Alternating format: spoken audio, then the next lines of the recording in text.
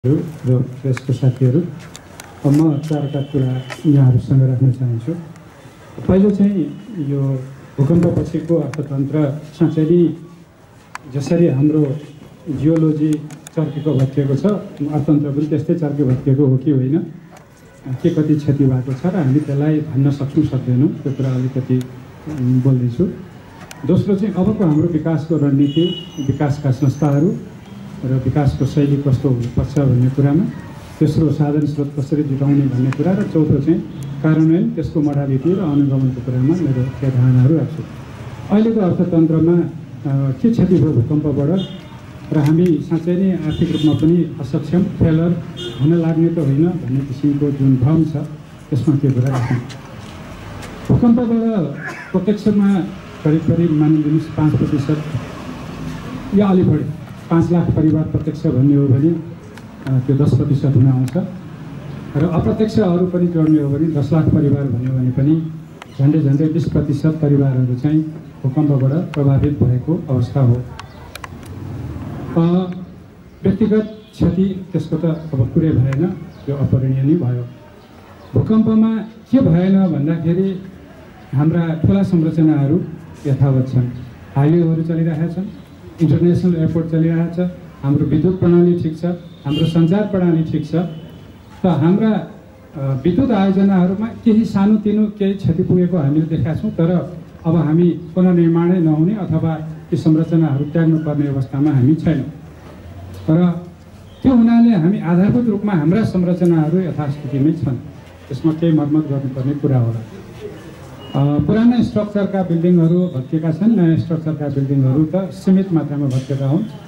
ती कुनै एनेक्डोटल आफ्नो मापदण्ड नपुगेका बिल्डिङहरू मात्रै भत्केका हुन् भनेर हामीले बुझे हुन्छ। अर्थतन्त्रको मुख्य मेरुदण्ड भनेको कृषि र रेमिटेन्स हो। कृषिमा भूकम्प प्रभावित बढी दस बाह्रवटा जिल्लाहरूमा कृषि प्रभावित भएको छ। तर हाम्रो अन्न भण्डार तराईमा कृषिका सम्भावनाहरू यथावतै छन्। र रेमिटेन्समा वैदेशिक रोजगारीमा जानेहरूले रेमिटेन्स पठाइरहने भएको छ र अर्थतन्त्रलाई जसले जीवन दिएको छ त्यो कायमै रहनेछ। हाम्रो मुलुकमा राजस्व लेख्य रूपमा उठिरहेको छ। अलिकति वृद्धि दर कम होला तर राजस्व उठ्दै नउठ्ने स्थिति होइन। किनभने औद्योगिक संरचनाहरू पनि हाम्रा ध्वस्त भएका छैनन्। हाम्रा आधारभूत रूपमा सेवा क्षेत्रमा होटलहरू कल्याप्स भएनन्। पर्यटकहरू केही समय आउँदैनन् तर छिटै नै यसले पुनर्गति लिन सक्नेछ। त्यसो हुनाले कतिपय सेवा क्षेत्र विस्तार भएर राजस्वमा जुन किसिमले एउटा क्षेत्रबाट क्षति भएको छ अर्को क्षेत्रबाट त्यो मेकअप हुने सम्भावना छ। त्यसमा पनि अब पुनर्निर्माणको काम एकदमै छिटो अगाडि बढ्यो भने त्यसबाट राजस्वमा पनि वृद्धि हुन्छ। त्यसो हुनाले मैले त्यति ठुलो जोखिम राजस्वको पाटोमा पनि देखाएको छैन। कृषिमा पनि त्यति ठुलो जोखिम देखेको छैन। हामीसँग विदेशी ऋण प्रशस्त मात्रामा हाम्रो प्रतिबद्धता छ पाइरहेका छौँ। परिचालन गर्न सक्ने क्षमताको कुरा हो। आन्तरिक ऋणमा हामीलाई नेपाल दक्षिण एसियामै र विश्वमै सबैभन्दा कम ऋण लिने मुलुकमध्ये पर्छ। हामीसँग प्रशस्त स्पेस छ। म त्यो यो कुरा पछि पनि बताउँला। तर हामी आन्तरिक अर्थतन्त्रको रूपमा हामी धराशायी छैनौँ। अहिले हाम्रो मात्रै चुनौती भनेको के हो भने हाम्रो साधन स्रोतलाई कसरी परिचालन गरेर जाने भन्ने हो। त्यसैले एउटा कुरा चाहिँ मैले के कुरा नेगेट गर्न चाहेँ भने अहिलेको हाम्रो जुन संरचनाहरू ध्वस्त भएका छन् यी हामीले पुनर्निर्माण गर्ने हाम्रा काबुभन्दा बाहिर छैनन्। हाम्रो अर्थतन्त्र हाम्रो काबुमा छ र यसलाई हामीसँग भएका सबल आर्थिक पक्षहरूलाई परिचालन गरेर अहिलेको हाम्रो जुन महाविपत्ति जुन छ त्यसलाई ओभरकम गर्न सक्ने आर्थिक क्षमता मुलुकले राख्छ। र दोस्रो कुरा चाहिँ रणनीतिक पाटोमा जाउँ। अबको विकासको रणनीतिक पाटो के हो? यसको संरचनागत कुराहरू के हो? अहिले म बाहिर बसेर सुनिरहेको छु छलफल भइरहेछ कोही अथोरिटी बनाउने कुरा गर्नुहुन्छ कोही मन्त्रालय बनाउने कुरा गर्नुहुन्छ। हामी नयाँ संरचनाहरूको कुरा गर्दैछौँ। हार्डवेयर तयार गरेर केही पनि हुनेवाला छैन। सफ्टवेयरमा चेन्ज गर्ने हो। हामीले नयाँ संस्था सृजना गर्दाखेरि ती संस्था सृजना गर्न वर्षौँ लाग्छ कहिले? महिना त लाग्छ लाग्छ। अहिले हाम्रो पुनर्निर्माणको बेलामा भएको संस्था भएको पद्धतिलाई हामीले परिमार्जन गर्ने र त्यहाँ समस्या छन् भने त्यसलाई हटाएर जाने हो। नयाँ संरचना तयार गर्दा म तपाईँहरूलाई अहिले भन्न सक्छु कम्तीमा छ महिना हामीलाई कुनै नयाँ संस्था बसाउनै लाग्छ। त्यो समय हामीले फेर फाल्ने कि नफाल्ने? त्यसो हुनाले मेरो चाहिँ सुझाव यहाँहरूलाई के छ भने अहिले हामीले पुनर्निर्माणको काम गर्नु छ भने शान्ति तथा पुनर्निर्माण मन्त्रालयलाई अग्रगामी एउटा सुपर मिनिस्ट्रीको भूमिका दिनुहोस्। शान्ति तथा पुनर्निर्माण मन्त्रालयको चाहिँ मन्त्री प्रधानमन्त्रीलाई बनाउनुहोस् ताकि यसले सुपर मिनिस्ट्रीको काम गर्न सकोस् र सबै मन्त्रालयहरूमा चाहे त्यो आवासमा होस् चाहे त्यो भौतिक योजनामा होस् चाहे शिक्षामा होस् चाहे स्वास्थ्यमा होस् चाहे अरूमा होस् त्यो क्षतिसँग भूकम्पसँग प्रभावित क्षतिलाई हेर्ने छुट्टै विभागहरू गठन गर्नुहोस् र त्यो सुपर मिनिस्ट्रीले कोअर्डिनेट गर्छ र सम्बन्धित मन्त्रालयले भूकम्पसँग सम्बन्धित कार्यक्रमहरू टेकअप गर्छ। होइन भने एउटा सुपर मिनिस्ट्रीले भन्दैमा शिक्षाका कार्यक्रमहरू स्कुल बिल्डिङको निर्माण अनि स्वास्थ्य चौकीको निर्माण अनि विद्युत आयोजनाको पुनर्निर्माण यी सबै कुराहरू गराउन थाल्दा हाम्रो प्रक्रिया अत्यन्त ढिलो हुन्छ। त्यसो भएको हुनाले मेरो अनुरोध के हो भने नयाँ संरचना दीर्घकालको लागि सोच्नुहुन्छ त्यो राम्रो हो राज्य पुनर्निर्माणको क्रममा यी कुराहरू हुन्छन्। यी कुराहरू तपाईँहरूले भोलि राज्यकै पुनर्संरचना गर्ने क्रममा सोच्नु होला तर अहिले भूकम्पको सन्दर्भमा भन्नुहुन्छ भने भएको संस्थागत व्यवस्थालाई अधिकतम प्रयोग गरौँ। कहाँ हाम्रो कमजोरी छ अभाव छ त्यहाँ हामीले बिस्तारै विकल्प पनि सोच्दै जाउँ तर विकल्प खडा गर्नेतर्फ समय बर्बाद नगरौँ। मेरो पहिलो सुझाव चाहिँ यहाँहरूलाई त्यो हो। त्यसपछि दोस्रो कुरा चाहिँ केही कानुनहरू हाम्रा यस्ता छन् जसले हाम्रो पुनर्निर्माणमा बाधा पुर्याउने छन्। जस्तो उदाहरणको लागि हाम्रो पुनर्निर्माणको काम युद्ध स्तरमा हुनैपर्छ। हाम्रा खरिद ऐनहरू सरकारले अहिले पाल ख टेन्डरबाट किन्नु परेको भए कति महिना लाग्थ्यो होला? सार्वजनिक खरिद ऐनले के भन्थ्यो होला? त्यसैले हाम्रो पुनर्निर्माण युद्ध स्तरमा गर्नुपर्नेछ एउटा क्राइसिस सङ्कट व्यवस्थापनको हिसाबले गर्नुपर्नेछ र हाम्रा ऐन कानुनहरू परम्परागत विकासको ढाँचालाई फलो गर्ने प्रकारको छन्। यसमा केही कानुनहरू सस्पेन्ड गर्नुपर्छ केही कानुनहरू नयाँ निर्माण गर्नुपर्छ। भूकम्प सम्बन्धी पुनर्निर्माणको छुट्टै कानुन बनाउनुहोस्। जुन कानुनले एक्जिस्टिङ अरू कानुनहरूलाई सुपरसेट गरिदियोस्। होइन भने काम गर्न अत्यन्त गाह्रो हुन्छ। कर्मचारी हिँड्ने हुन्। घरमा त भैँचालो गएको छ उसको चाहिँ प्रोफेसनल क्यारियरमा भैँचालो नजाओस् भन्नुको लागि ऊ बढी सचेत भइदिन्छ। ऊ सचेत भइदिन खोज्दा खोज्दै निर्णय प्रक्रिया ढिलो हुन्छ र हाम्रो पुनर्निर्माणको काम पछि पर्छ। त्यसो भएको हुनाले मैले त एउटा अवस्थामा के भनेको थिएँ भने पुनर्निर्माणको काम साँच्चै अघि लाने र अनुशासित रूपमा जाने हो भने स्टेट अफ इमर्जेन्सी किन डिक्लेयर गर्नुहुन्न पनि भनेको थिएँ मैले। बोलेको हामीले सुन्यौँ तर भएको मैले देखिनँ। किनभने अहिले हामीले प्रजातान्त्रिक अधिकारहरूलाई रक्षा गर्नुपर्छ। तर त्यो भन्दैमा पुनर्निर्माणको क्रममा के अनुशासनहरू त्यो अनुशासन मैले पनि र प्रेसको साथीहरूले पनि त्यो अनुशासन सभासचिवहरूले पनि र सिभिल सोसाइटीको मान्छेहरूले पनि पालना त गर्नुपर्छ नि। त्यो अनुशासनमा बस्नका लागि कहिलेकाहीँ हामीले एउटा नयाँ पद्धति केही समयको लागि विकास गर्नुपर्ने हुन्छ। त्यसो हुँदाखेरि त्यो गर्नलाई के गर्ने? तपाईँलाई पुनर्वास गराउनु छ। अब सबै रिलोकेसन गराउने कुरा गर्दैछौँ हामी। पाहाडको गाउँलाई तल झार्ने जोखिमयुक्त क्षेत्रको बसोबासलाई सुरक्षित ठाउँमा सार्ने भन्दैछौँ। त्यहाँ जमिनको कुरा आउँछ जग्गा अधिग्रहणको कुरा आउँछ त्यहाँ धेरै कुराहरू आउँछन्। अनि त्यही तपाईँले व्यक्तिगत आफ्नो सम्पत्तिमाथिको अधिकार प्रयोग गरेर अदालतमा मुद्दा हालिदिने अनि स्टे अर्डर आउने अनि तपाईँले रिलोकेसनका सबै प्लानहरू विथहोल्ड हुने एउटा स्टे अर्डरले तपाईँको सबै काम रोकिने हुन्छ। त्यो बेला के गर्नुहुन्छ? त्यसो भएको हुनाले कतिपय यस्ता कुराहरू सस्पेन्ड गर्नुपर्ने हुन्छ। यसलाई निश्चित समयभित्र सस्पेन्ड गर्नु पर्ने हुन्छ। लामो समयसम्म गऱ्यो भने त्यहाँ फेरि डिक्टेटरसिप डेभलप होला भन्ने डर पनि हुन्छ हाम्रो जस्तो भर्खर इभल्भ भएको डेमोक्रेसीमा। तर दीर्घकालमा त्यसलाई सुरक्षित गर्ने गरी अहिले केही यस्ता कुराहरूलाई हामीले सस्पेन्ड गर्नुपर्ने मैले देखाएको छु। होइन भने यो परम्परागत शैलीले आपतकालीन व्यवस्थापन हुँदैन यसमा हामीले सोच्नु पर्यो।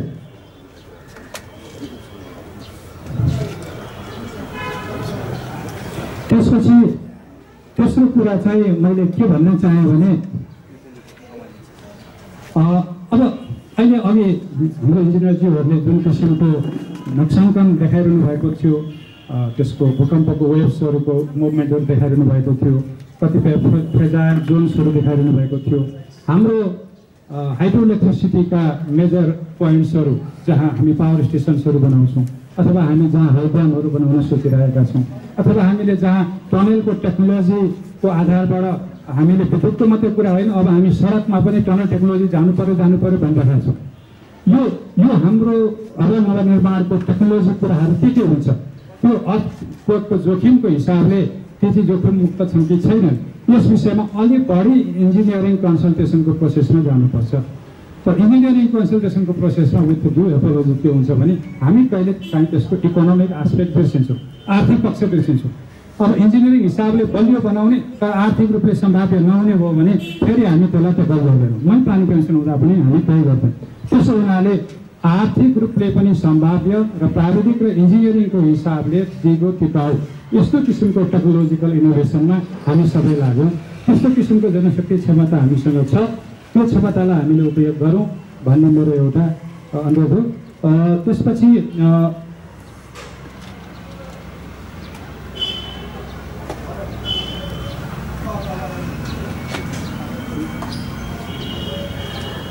एउटा महत्त्वपूर्ण कुरा भन्नै पर्ने के हो भने अबको विकासको रणनीतिमा हामीले एउटा गल्ती के गर्नु हुँदैन भने हाम्रा मान्छेहरूको जीवन निर्वाह केमा छ? सिन्धुपाल्चोक दोलखा रामेछाप या रसुवाका मान्छेको जीवन निर्वाह कृषि र पशुपालनको वरिपरि छ। अब हामी पुनर्वास गराउँछौँ पुनर्स्थापना गराउँछौँ अर्को ठाउँमा लिएर आउँछौँ भन्दाखेरि उनीहरूको जीवन निर्वाहलाई हामीले केसँग आबद्ध गर्दैछौँ? उनीहरूलाई कृषिबाट छुटाउँदैछौँ। छुटाउँदैछौँ भने हामी के दिँदैछौँ? होइन भने सरकारले बनाइदिएको सित्तैमा पाएको घरमा कोही आएर बस्दैन किनभने उसलाई भोलिपल्ट खानाको समस्या हुन्छ। त्यो कुरो हामीले सुनामीको पुनर्स्थापनामा खास गरी श्रीलङ्का थाइल्यान्ड कतिपय मुलुकहरूको अवस्था हेरेर पनि देखिन्छ। सरकारले बनाइदिएको घरमा पनि मान्छेहरू बस्न गएनन्। किन गएनन् भन्दाखेरि समुद्रको किनारमा उनीहरू माछा मारेर सामुद्रिक जीवहरूसँग को उनीहरूको जीवनको दैनिकी हो दिनचर्या हो ऊ माछा मारेर आफूलाई खाइराखेको छ पेट पालिरहेको छ। राज्यले केही समय दिएको राहत त उसले दिन्छ तर जीविकोपार्जन उपासी केबाट गर्छ भन्दा उनीहरू सरकारले बनाइदिएको घर छोडेर फेरि समुद्रकै किनारमा पाल टाङ्न पुगे। हामीले पनि त्यो गल्ती गर्नु हुँदैन। त्यसैले लाइभलीहुडसँग जीवन निर्वाहसँग उनीहरूलाई कसरी आबद्ध गर्ने यो महत्त्वपूर्ण छ। त्यसमा अलि सजिलो कुरो के छ भने अब हामीलाई श्रम प्रधान प्रविधि उपयोग गरेर नवनिर्माणमा जाने एउटा ढोका खुलेको छ। यी सबै मानिसहरूलाई तत्कालै कृषिमा हामीले पुनरावद्ध गर्न सकिँदैन भने नवनिर्माणको क्रममा प्रयोग गर्नुपर्छ। श्रम दिन सक्नेले श्रमको प्रयोग गर्नुपर्छ र त्यो श्रम प्रयोग गर्ने काममा राज्यको संयन्त्र उपयोग गर्नुपर्छ। हामीले विगतमा कामको लागि खाद्यान्न कार्यक्रम सञ्चालन गरेका थियौँ। अब पुनर्निर्माणको लागि रोजगारी भन्ने नाराका साथ तपाईँहरू अघि बढ्न प्रयास गर्नुहोस् र पुनर्निर्माणको लागि रोजगारी भन्ने क्रममा स्कुल बिल्डिङ होस् स्वास्थ्य चौकी होस् पुलिस चौकी होस् सडक होस् विद्युत होस् कहाँ कहाँ उनीहरूलाई प्रयोग गर्न सकिन्छ त्यो श्रमलाई प्रयोग गर्ने रिलोकेसन भएको अहिले अहिले सुरक्षित पुनर्स्थापना भएको ठाउँबाटै श्रम गराउने किसिमको नजिकको ठाउँमा श्रम गराउने किसिमको व्यवस्था गर्न त्यो श्रम गरे बापत आतक हामी वस्तुमा सहायता दिउँ त्यो सायद चामल होला खानेकुरा के होला आधा जति नगदमा दिउँ सबै चिज हामीले दिएर सम्भव हुँदैन। तर त्यहाँ खाद्यान्नको पनि सुरक्षा खाद्य सुरक्षाको पनि हामीले कुरा गर्नुपर्ने हुनाले केही खाद्यान्न र बाँकी नगदमा दिने र रोजगारी पुनर्निर्माणमा लगाउने र जति जति पनि कृषिबाट विस्थापित हुनुभएको छ अरू व्यवसायबाट विस्थापित हुनुभएको छ त्यो गर्नुपर्छ। र राज्यले दिन्छ हामी बसेर खाने हो भन्ने मनस्थिति विकास हुन पनि दिनु हुँदैन। यसले गलत भएको छ। कर्णाली रोजगार कार्यक्रमबाट हामीले चेतिसकेका छौँ। कर्णालीको मान्छेलाई रोजगारी दिने नभए भत्ता दिने भनेर हामीले भन्दा भन्दै यो त राज्यले हामीलाई पाल्ने भत्ता दिएको हामी किन काम गर्ने भनेर मलाई नै कर्णालीको मान्छेले भन्नुभएको छ। यो गलत बानी बसेर खाने किसिमको बानी पनि हामीले लामो विकास गर्नु हुँदैन। श्रम गराउनै पर्छ त्यसको ज्याला दिने त्यसलाई व्यवस्थित गर्ने कुरामा जानैपर्छ र निर्माणमा श्रम प्रदान प्रविधि अनिवार्य रूपमा अप्नाउनु पर्यो। डोजर धेर लगाएर एक्सकाइभेटर धेर लगाएर हामीले हाम्रा बाटाहरू बिगाऱ्यौँ हाम्रो इको सिस्टम पनि धेर बिगाऱ्यौँ अबको हाम्रो निर्माणको प्रक्रिया केही हदसम्म ढिलो हुन्छ केही हदसम्म त्यो इफिसियन्ट पनि नहोला। तर श्रम प्रदान प्रविधिमा जानैपर्छ त्यसले रोजगारी दिन्छ इको सिस्टम पनि इन्ट्याक्ट हुन्छ र सम्भवतः हाम्रो दिगो विकासको आधार पनि तयार हुन्छ। त्यसो हुनाले श्रम प्रदान प्रविधिमा कसरी जाने भन्ने कुरामा अलिकति राम्रो लाग्नु पर्ला। त्यसपछि हाम्रा स्ट्राटेजिक पार्टनर्सहरू यो यो पुनर्निर्माणको काम कहिलेकाहीँ हामी नसक्ने काम पनि हामी आफै गर्छौँ भनेर लाग्छौँ र सरकारले पनि त्यो दुस्साहस गर्यो भने त्यो सम्भव हुँदैन। यो पुनर्निर्माण हामी सबै स्ट्राटेजिक पार्टनरहरूको सहकार्यबाट मात्रै सम्भव हुन्छ। सरकार निजी क्षेत्र सामुदायिक क्षेत्र। यो सामुदायिक क्षेत्रलाई हामीले बारम्बार बिर्सने गरेका छौँ। तर सबैभन्दा अहिलेको अवस्थामा सबभन्दा बढी योगदान गर्न सक्ने सामुदायिक क्षेत्र छ। यसलाई हामीले बिर्सिनु हुँदैन। ती सामुदायिक क्षेत्रभित्र सामुदायिक प्रणालीका हाम्रा एजेन्टहरू ती चाहे सहकारी संस्था हुन् चाहे त्यो उपभोक्ता समितिहरू हुन् चाहे कुनै न कुनै किसिमका अन्य सामुदायिक संस्थाहरू यी संस्थाहरू केही नभएर समुदायमा काम गर्ने अरू संस्थाहरू यो चाहिँ माइक्रो फाइनेन्स इन्स्टिट्युसन्सहरू जस्ताहरू पनि छन्। यी सबैलाई परिचालन गरेर हामीले राज्यले समुदाय र गैर सरकारी संस्थाहरूलाई सँगसँगै आफ्नो स्ट्राटेजिक पार्टनरको रूपमा लिएर हिँड्नु पर्यो। सरकारले एक्लै गर्छु भनेर भएन। यो काम सबै निजी क्षेत्रको हो भनेर छोड्ने पनि भएन छोड्नु पनि भएन। त्यो चाहे निर्माणमा होस् चाहे त्यो आवासमा होस् चाहे अन्य जीविकोपार्जनको सवालमा होस् यो साझेदारी र स्ट्रा स्ट्राटेजिक पार्टनरसिप चाहिँ हामीले सम्झिनुपर्छ। र यसको लागि एउटा उपयुक्त मेकानिजम चाहिन्छ। त्यो राष्ट्रिय योजना आयोग त्यसको लागि उपयुक्त थलो हुन्छ। त्यसपछि अर्को एउटा कुरो चाहिँ भोलिन्टरिजम हामीले भोलिन्टरिजमको धेरै विकास गर्न खोज्यौँ। हामीले हाम्रा भाइ बहिनीहरूलाई क्याडेस क्रप्सको चाहिँ ट्रेनिङहरू पनि दियौँ। केही आधारभूत रूपमा मिलिटरी ट्रेनिङ जस्तो पनि सुरु गऱ्यौँ। कुनै समय नेपालमा लामो समयसम्म मिलिटरी ट्रेनिङको आवश्यकता छ कि छैन? सबैलाई अनिवार्य गर्नु छ कि छैन भनेर पनि भन्यो। त्यतिखेर प्रजातान्त्रिक मुलुकमा यी सबै कुराहरू गर्न आवश्यक छैन। जनताले नागरिकले भोलिन्टियरली स्वयंसेवा गर्न चाह्यो भने गरिहाल्छन् पनि भनियो। तर आज अहिले हामीले राज्यले मलाई लाग्दैन सरकारले ल हामीलाई एक लाख भोलिन्टियर चाहियो तपाईँहरू आउनुहोस् रजिस्टर सुन्नु रजिस्टर हुनुहोस् तपाईँहरू शिक्षाको स्वास्थ्यको वातावरणको के को इन्जिनियरिङको के को विद्यार्थी हुनुहुन्छ? हामीलाई सहयोग गर्न आउनुहोस् भनेर एउटा विज्ञप्ति जारी गरेको सम्भव पनि छैन। त्यो भोलिन्टियरको एउटा रस्टरिङ गरिएको पनि छैन। त्यसलाई परिचालन गर्ने मेकानिजम बनाइएको पनि छैन। त्यसो हुनाले अहिले हामी तत्कालै हामीसँग भएका साधन स्रोतमध्ये एक लाख यस्ता प्राविधिक भोलिन्टियरहरूको हामीले समूह गठन गरौँ। उनीहरूलाई परिचालन गर्न लाउँ। राज्य निजी क्षेत्र समुदाय र आइएनजिओ एनजिओलाई कोअर्डिनेट गर्ने काम उहाँहरूलाई दिउँ। उहाँहरूले बेटर गर्न सक्नुहुन्छ। किनभने कहिलेकाहीँ राज्यको संयन्त्रप्रति अरूको विश्वास अलिक कम हुँदो रहेछ यस्तो बेलामा त्यसो हुनाले पनि यो यो संयन्त्रमा राज्यले कल गर्नु पर्यो अब भोलिन्टियरको लागि। राज्यले आह्वान गर्यो भने मान्छे आउँछ। ऊ स्वतस्फूर्त लागिरहेको छ त्यसलाई व्यवस्थित मात्रै गरिदेऊ न त्यो कुरो मैले भन्न खोजिरहेको छु। र एउटा कुरो चाहिँ इनोभेसन र टेक्नोलोजिकल चोइसेसमा अब अहिले हामीले जाने बेला भएको छ। यो उपयुक्त समय हो। हामीले चाहिँ तिन लाखमा बडो राम्रो घर बन्ने भए भन्ने पनि सुन्यौँ। एउटा यस्तो अर्को कार्यक्रममा केही इन्जिनियर साथीहरूले अब यो चाहिँ माटो र ढुङ्गाको स्ट्रक्चरले काम गर्दैन सबैतिर चाहिँ यो चाहिँ कङ्क्रिट र चाहिँ आइरन स्टिलको स्ट्रक्चरमा जानुपर्छ। पनि भन्नुभयो कसैले मैले भने सरी हाम्रो मुलुकमा अहिले हामीले हामीसँग स्थानीय रूपमा उपलब्ध कच्चा पदार्थहरू निर्माण सामग्रीहरूलाई नै प्रयोग गरेर त्यसलाई हामीले धेरै हदसम्म भूकम्प रेसिस्टेन्ट किसिमको कसरी बनाउन सकिन्छ सुरक्षित कसरी बनाउन सकिन्छ त्यहाँ जाने हो। सिटी अर्गनाइजेसन टाउनसिप डेभलप हुँदै गर्दाखेरि बल्ल हामीले यो कुराहरू अगाडि बढ्ने होला। अहिले तत्कालको लागि तपाईँले सिन्धुपाल्चोक रसुवा या दोलखामा कङ्क्रिट स्ट्रक्चरमा जान्छु भनेर गाउँतिर भन्यो भने त्यो सम्भव हुँदैन। र कसरी घरहरू राज्यले सरकारले पनि दिन्छु भन्यो भने पनि दस वर्ष लाखमा सम्भव हुँदैन। मेरो आफ्नै अनुभव छ। म आफ्नै राष्ट्रिय योजनामा आउँदाखेरि जनता आवास कार्यक्रम सुरु गराउनलाई मलाई धौ धौ भएको थियो। के कुराहरू भएको थियो भने जनताको लाल पूर्जा छैन त्यहाँ कसले घर बनाइदिने? मेरै प्रधानमन्त्रीले पनि त्यही क्वेसन मलाई सोध्नु भएको थियो। जग्गाको लाल पूर्जा छैन घर बनाइदिएर त उसले पछि दाबी गर्छ। अनि मैले के भने त्यो बेला क्याबिनेटको सब कमिटीको मिटिङमा मलाई बोलाइएको थियो। र मैले भने जब लाल पूर्जा दिएर धनी दिएर तपाईँ घर बनाइदिनुहुन्छ भने उसको पुस्ता त यसै घरै बनाउनु पाउँदैन। किनभने पचासौँ वर्षदेखि लाल पूर्जाको समस्या हामी समाधान नगर्ने अनि लाल पूर्जा भएपछि घर बनाइदिन्छु भन्ने यो त कहिले पनि नपुग्ने किसिमको मुद्दा भयो। त्यसो भएको हुनाले यो पुनर्निर्माण जब घरको कुरा गर्छौँ भने हामीले पहिलो कुरा के बुझ्नुपर्छ भने यहाँ जमिनको इन्टाइटलमेन्टको आधारबाट घर बनाइदिने कुरा गऱ्यो भने हामी पछि पर्छौँ पहिलो कुरा। दोस्रो कुरा सबै राज्यले मात्रै गरिदिने हो भने हामीले हुने नहुने सक्ने नसक्ने सबैलाई एउटा बास्केटमा हालिरहेका छौँ र उसको अर्जेन्सी र प्रायोरिटीको हिसाबले हामीले काम गरिरहेका छैनौँ। तेस्रो कुरा मेरो चारवटा घर थियो। यो तिनवटा हो र एउटा म बसेको सुरक्षित छ भने मलाई राज्यले केही पनि दिनु पर्दैन। तिनवटा मेरा घर मैले सोचले बनाएको हो मेरो आवश्यकताले होइन। मैले त्यो कम्पन्सेसन पाउनु जरुरी छैन। छैन। त्यसो हुनाले जे सहयोग गर्ने हो एउटा घरको लागि फर्स्ट होम जहाँ पनि विश्वव्यापी रूपमा अहिले फर्स्ट होमको प्रिन्सिपल छ।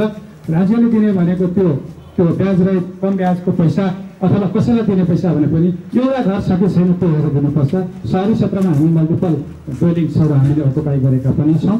घर हुँदा आउँदै अपार्टमेन्ट ल्याएको छौँ र अपार्टमेन्टमा हामी बसेका छैनौँ। तर पनि हामी दाबी गर्न थाल्यौँ भने हाम्रो सब्सिडी हाम्रो राहत चाहिँ मलाई लाग्छ अलि राम्रोसँग टार्गेटेड हुँदैन होला। त्यसैले फर्स्ट होमको लागि मात्रै यो कुराहरू गर्नुपर्ने कुराहरू र रिसोर्सको कुराहरूमा फाइनेन्सियल रिसोर्सको कुरा गर्ने हो भने अहिले हामीसँग त्यो क्षमता छ।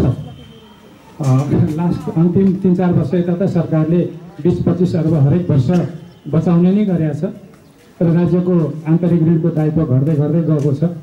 र अहिले हामी पुनर्निर्माणको लागि मानिलिनुहोस् अहिले दस खर्बको योजना बनायौँ। अरे टेन्टेटिभ अब बढी पनि लाग्न सक्छ मैले पनि यस्तो अनुमान गरेको छैन। किनभने पुनर्निर्माणमा दुई किसिमको लागत हामीले हेर्नुपर्छ। एउटा अनुमान गर्न सकिने लागत जो चाहिँ अभियसली भ्यालु गर्न सकिन्छ अरू इन्भ्यालुएबल मूल्याङ्कनै गर्न नसकिने इन्ट्रेन्जिङ भ्यालु भएका हाम्रा चाहिँ एसेटहरू जस्तो हाम्रा हाम्रा चाहिँ पुरातात्विक महत्त्वका ऐतिहासिक महत्त्वका धरोहरहरू अब धरोहरको कति मूल्य राख्ने? नौतलो दरबारको कति मूल्य राख्ने? त्यो म सक्दिनँ। तर त्यस्तो स्ट्रक्चर पुनर्निर्माण गर्नु पर्यो भने काठ या अरू स्ट्रक्चर गर्ने सामान कति लाग्छ त्यो अनुमान गर्न सकिन्छ। त्यसरी गर्दाखेरि अहिले हामीले मानिनुहोस् दस खर्ब राज्यले खर्च गर्ने प्लान गर्ने हो भने पनि हामीले हाम्रो आन्तरिक साधन स्रोतबाट वैदेशिक साधन स्रोतबाट त्यो खर्च उठाउन सक्ने क्षमता हामी राख्छौँ। दोस्रो कुरो त्यसको लागि आयात गर्नुपर्ने हुन्छ। निर्माण सामग्री आयात गर्नुपर्ने हुन्छ। कतिपय अन्य सामग्रीहरू आयात गर्नुपर्ने हुन्छ। त्यसको लागि हामीसँग विदेशी मुद्रा संस्कृति पर्याप्त छ। अर्थतन्त्रमा तरलता पर्याप्त छ। निजी क्षेत्रले पनि चाह्यो भने ब्याङ्कबाट ऋण लिएर घर बनाउन सक्ने अवस्था विद्यमान छ। अब हाम्रा यी सबै क्षमता र विदेशी ऋणको तह पनि हाम्रो तल भएको हुनाले सधैँ अनुदानै मागेर पनि जरुरी छैन। हामीले सहुलियत दरको ऋण पायौँ भने त्यो ऋण पनि हामी एक दुई खर्ब परिचालन गर्न सक्छौँ। त्यसैले दस खर्ब साधन जुटाउने कुरो ठुलो होइन। तर दस खर्ब खर्च गर्न सक्ने क्षमता चाहिँ ठुलो कुरा हो। हामी अस्सी अर्ब नब्बे अर्बको विकास बजेट खर्च गर्न नसकेको अवस्थामा दस खर्ब हामी दस वर्षमा पनि खर्च गर्न सक्दैनौँ। हाम्रो आवश्यकता अगाडि हुन्छन्। हाम्रो खर्च गर्ने क्षमता पछाडि बढ्दै गइरहेको छ। त्यसो हुनाले यो खर्च गर्ने क्षमतालाई कसरी द्रुत गतिले अघि बढाउने भन्ने सन्दर्भमा अघि मैले भनेका कुराहरू लागु हुन्छन्। कानुन बनाउनु पर्ने हुन्छ कानुन संशोधन गर्नुपर्ने हुन्छ कतिपय कानुनका दफाहरू निलम्बन गर्नुपर्ने हुन्छ। तर ती सबै गर्नको लागि हामीसँग केही नियन्त्रण अनुगमनको मेकानिजम हुनुपर्छ जुन एक्ज्याक्टली पोइन्ट हो त्यसमा म आउन चाहन्छु। अब यो इम्प्लिमेन्टेसनको मोडालिटीमा हामीले के देख्यौँ भने केन्द्र सरकारबाट गरेका आयोजनाहरूमा अनुगमनको अभाव हुन्छ। कहिलेकाहीँ त्यहाँ चाहिँ स्थानीय तहमा प्रश्न पनि उठ्ने गर्छ र त्यसमा साधन स्रोतको चुहावट हुनसक्छ स्थानीय रूपमा पनि नियन्त्रण र सन्तुलन भएन भने त्यहाँ पनि साधनको चुहावट हुनसक्छ हामीले सर्वदलीय संयन्त्र पनि बनाएर हेऱ्यौँ त्यहाँ पनि समस्याहरू देख्यौँ। अबको कुरा भनेको चाहिँ के हो भने साधन स्रोत स्थानीय तहमा परिचालन गर्दा दुरुपयोग नहुने किसिमको संयन्त्रमा जाँदा कस्तो किसिमको जवाबदेता स्थापित गर्नुपर्ने हो। जस्तो उदाहरणको लागि उपभोक्ता समितिलाई भ्रष्टाचार निवारण ऐन लाग्दैन अथवा ऐन लाग्ने व्यवस्था भयो कि छैन मलाई थाहा छैन। कतिपय ठाउँमा सिभिल सर्भेन्ट सरकारी कर्मचारीले सय रुपियाँ तलमाथि गऱ्यो भने जेल गइहाल्छ तर उपभोक्ता समितिहरू अथवा यसरी स्थानीय तहमा बनाएका कमिटी मार्फत हुने खर्चहरूमा जवाफदेहिता अलिक कम राखे पनि हुने स्थिति छ। त्यसमा सुधार गरेर गयो भने स्थानीय साधन स्रोत र व्यक्तिहरूलाई परिचालन नगरिकन त्यो काम हुँदैन। तर त्यहाँ जवाफदेहिताको स्पष्ट व्यवस्था र त्यहाँ अनुगमनको र चाहिँ इभालुएसनको व्यवस्था चाहिँ राख्नु पर्ला त्यो बिचमा गुणस्तर नियन्त्रणका कुराहरू अघि उठाइसक्नुभयो। हरेक निर्माणमा गुणस्तर कसरी कायम गर्ने भन्ने कुराहरू पनि महत्त्वपूर्ण हुन्छन् र हामीले सार्कको सम्मेलन अगाडि जुन पूर्वाधारहरू काठमाडौँमा बनायौँ त्यसबाट पनि हामीले केही सिकेका छौँ। पहिलो कुरो जति अर्जेन्सी हो त्यति भ्रष्टाचार हुने सम्भावना बढी हुँदो रहेछ। दोस्रो कुरो जति अर्जेन्टली हामीले काम गऱ्यौँ त्यति क्वालिटी कन्ट्रोल कम हुँदो रहेछ भन्ने पनि सिक्यौँ। र तेस्रो चाहिँ सम्भवतः साधनको अधिकतम र उपयुक्त उपयोग पनि हुँदैन कि भन्ने पनि देखिया छ। त्यसैले यो अर्जेन्सी र साधनको चुहावटको बिचको हामीले सन्तुलन बनाउनको लागि दह्रो अनुगमनको प्रणाली चाहिन्छ। जवाफदेहीपूर्ण अनुगमनकर्ता पनि हुनुपर्छ। हामीसँग लकेली संसद छ। संसदीय समितिहरू हुनुहुन्छ समितिहरू छन् र सभासदीहरू हुनुहुन्छ। हिजोको जस्तो स्थिति छैन। त्यसो हुनाले मलाई के आशा छ भने संसदले यी सबै अनुगमन गरिदिने हो। केन्द्रदेखि स्थानीय तहसम्म भने सम्भवतः हामीले पुनर्निर्माणको काम अघि बढाएर लान सक्छौँ। र अहिले हामी धैर्य गरेर हाम्रा सम्भावनाहरूलाई परिचालित गरेर नयाँ निर्माणको यो अवसरलाई उपयोग गर्न सक्ने अवस्था छ। हामी कसैले पनि होस गुमाउनु पर्ने स्थिति छैन। हामी सबैले मिलेर काम गर्न सक्छौँ। धन्यवाद। डाक्टर धेरै धेरै धन्यवाद। संक्षेपमा